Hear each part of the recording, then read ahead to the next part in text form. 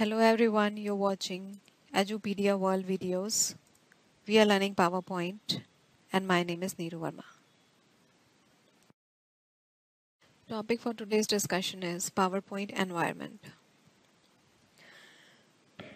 We'll be understanding the PowerPoint environment in this session and we are going to discuss about the terms used and the tools used. There are certain questions that keep coming in our mind and those are where is the slide? Where's the zoom control? What is a backstage view? And where's the note section? And the most important is from where do I get the help in case I got stuck? So we'll try to find out all the answers in this session. We are going to discuss about certain terms and those are title bar and quick access toolbar, tabs and ribbons, the group areas, slide areas, slide tab and outline, slide views, the backstage view, zoom options, note section and help. So let's start and discuss about title bar first. Let me show you the area of the title bar. This is our title bar, the topmost area.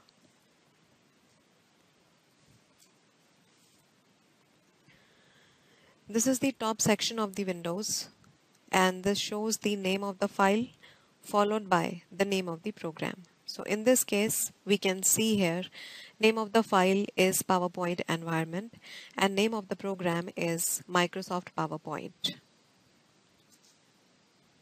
This is your title bar.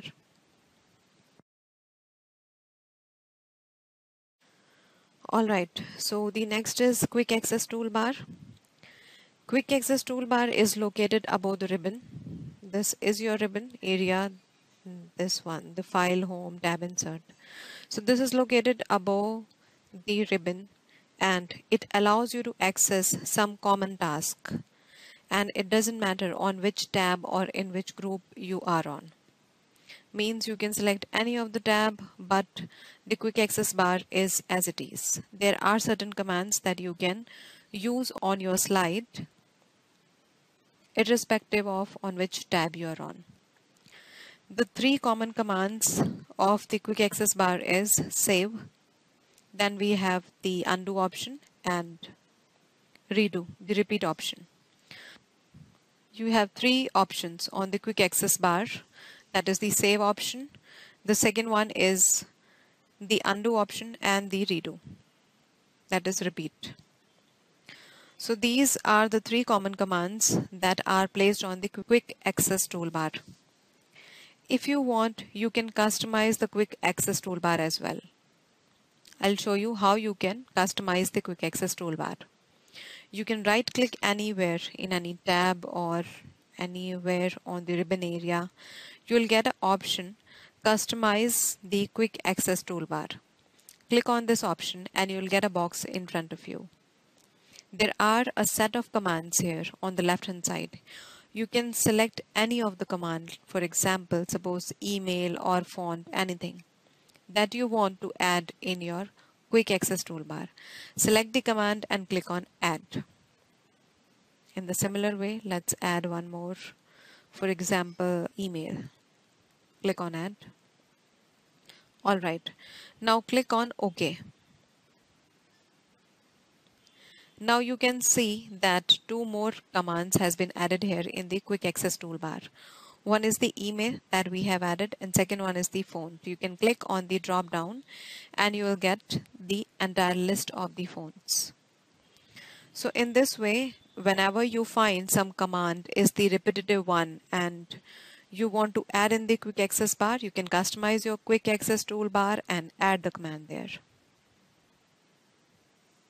And there is one important property about the quick access toolbar is suppose you have selected any ribbon, any tab, you are somewhere else. You can access the commands directly from here because this is a kind of static bar that appears on the screen. if you click on any tab then the group options the commands that is keep changing as per the ribbon options so this is the quick access toolbar is a kind of bar which is static in our program and that give you the options to select that give you certain commands that you can add anywhere on the system. So that was it. That was about the title bar and the quick access toolbar. We'll be discussing about the tabs and ribbons in the next session thanks everyone. Thank you for watching edupedia world videos